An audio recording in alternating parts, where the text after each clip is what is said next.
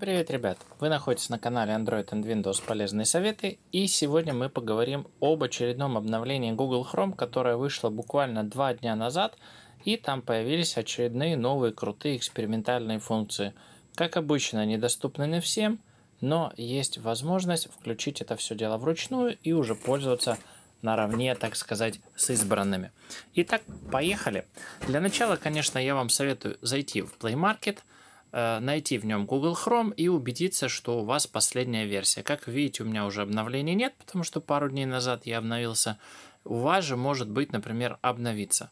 Обязательно обновитесь, потому что если у вас будет стоять не последняя версия, то этой экспериментальной настройки у вас просто-напросто не будет, и вы ее не сможете включить.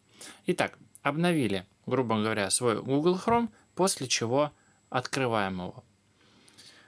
Сейчас все загрузится, ребята. И для того, чтобы зайти и активировать эту настройку, нам потребуется с вами попасть в меню экспериментальных функций, ну и, так сказать, скрытых настроек Google Chrome. Я думаю, те, кто меня смотрит постоянно, уже знают, как это делают.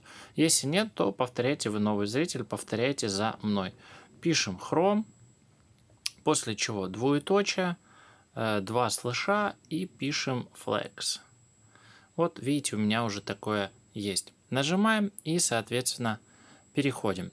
Да, ребят, смотрите, сразу вам скажу, что если вы не знаете, за что отвечает настройка, а в большинстве случаев они здесь на английском языке, то я вам не советую активировать все подряд, потому что это может повлечь за собой то, что вам придется переустановить Google Chrome. Да, критичного ничего нет, но все же неприятно. Итак, настройка называется Page. Пишем с вами Page, пробел, Zoom. И как вы видите, вот она нашлась. Accessibility Page Zoom. Повторяю, данная настройка есть только в самой последней версии Google Chrome. Поэтому обязательно обновите свой Google Chrome. Нажимаем Enable, естественно, Relaunch, перезагрузка Google Chrome. Но я вам советую после того, как он сделал Relaunch, сделать еще вот так вот и все это дело закрыть. Теперь покажу, что же мы с вами активировали и как этим делом пользоваться. Заходим на первый сайт. Ну, я частенько читаю но, новости на Exhibit, это не реклама. И смотрите, если раньше, я уверен, вы, как и все остальные, чтобы увеличить текст, по разной необходимости вы вот так вот двумя пальцами брали, увеличивали и потом все это дело вот листали, оно растягивается, надо пролистывать. Это, конечно же, что абсолютно неудобно. Но спасибо разработчикам Google, которые, я не знаю, где они берут эту информацию, что такие фишки нужно делать, и они их реально по-настоящему делают и выпускают уже продуманные, просто шик. Сделали такое же масштабирование, как и на персональных компьютерах. Теперь это доступно и в мобильной версии Google Chrome. Как же вот пользоваться этой функцией, которую мы с вами активировали? Все довольно просто. Смотрите, нажимаем, открыли нужную страничку, которую вы хотите увеличить. Нажимаем три точки, после чего на вот этот знак I.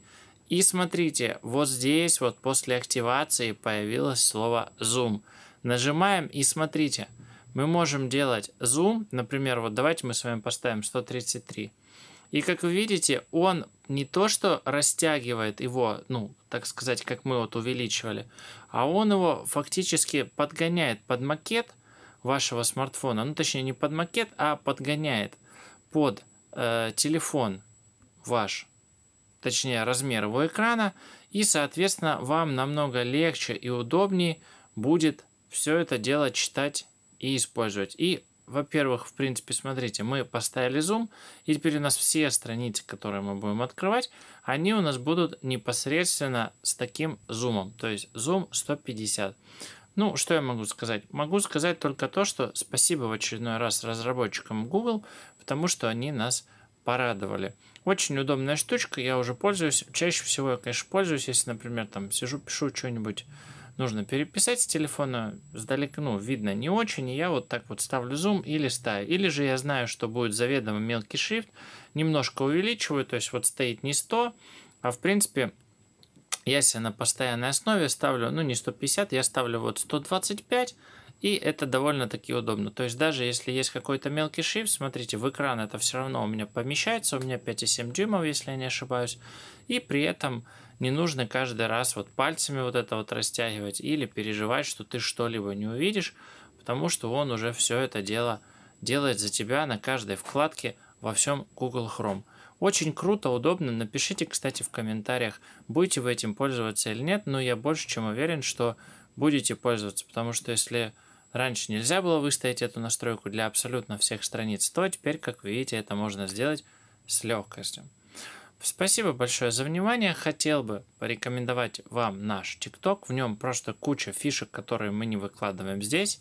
Ну, можно сказать, э, нам не позволяют их здесь выкладывать, поэтому мы выкладываем все это дело в ТикТок. Заходите, смотрите, там именно фишки по настройке Android смартфон, ну, то есть на тематику нашего канала.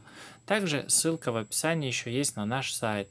Там очень много полезной информации, именно непосредственно статьи, подборки различных приложений, топ-3, топ-4, топ-5, музыкальные плееры для просмотра видео и так далее. И также очень много мы статей полезных написали, качественных, как восстанавливать, например, э, удаленные случайно фотографии или видео. Потому что здесь мы тоже снимали видео, но там мы сделали именно подборки из таких приложений, которые точно вам позволят, то есть если их использовать все, вы точно восстановите то, что вы случайно удалили. Или, например, оно ну, по, по непонятным причинам затерлось. Поэтому, ребят, подписывайтесь на канал, обязательно нажимайте на колокольчик и не забывайте оставлять свои комментарии. Ну а мы ждем ваши комментарии по поводу этого зума. Нам будет очень интересно почитать, потому что мы пользуемся, в принципе, даже вот посоветовал нескольким своим друзьям, тоже начали с интересом пользоваться. Я думаю, вам зайдет, и вы тоже будете использовать эту новую настройку. Потому что если Google поймет, что это заходит, как обычно, от них будет что-то новенькое, интересненькое и, как всегда, топчик.